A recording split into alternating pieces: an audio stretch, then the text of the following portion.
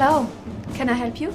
Hello, my name is Vastic. I'm here for the inspection. We'll also follow two project members on their inspection and see how they react and behave. Hello, my name is Isabel Sanchez. I'm currently working on a clinical trial within a drug development project. Hello, my name is Olivier Lavie and I'm also working at the same project. My name is Martin Vastic. I'm an inspector. And of course, I expect proper preparation.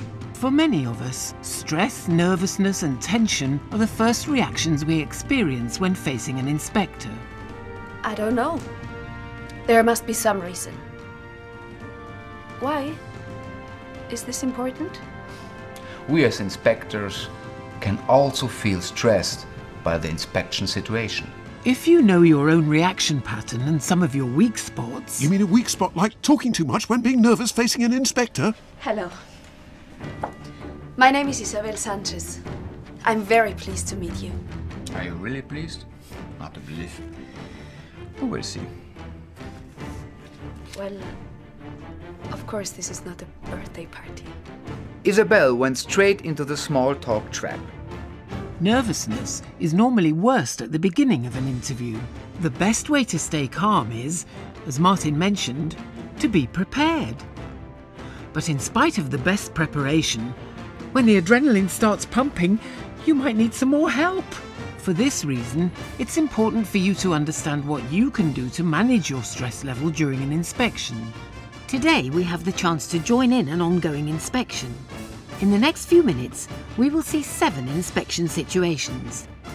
Every situation will show one example of good behaviour and one example of inappropriate behaviour. And this was the reaction from the inspector. Okay. Thank you.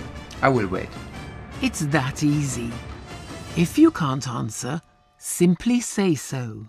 Because at the end of the day, it's what you say that counts. That's right.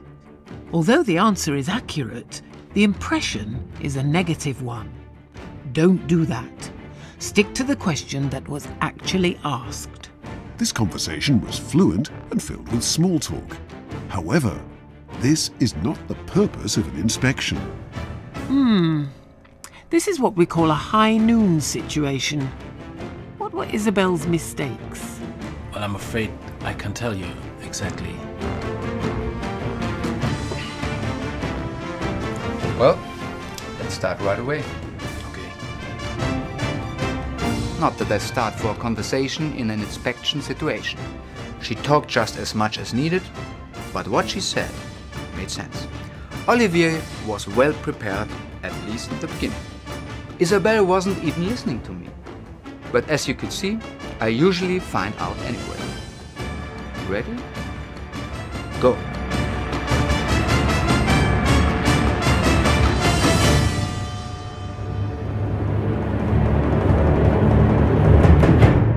I like this.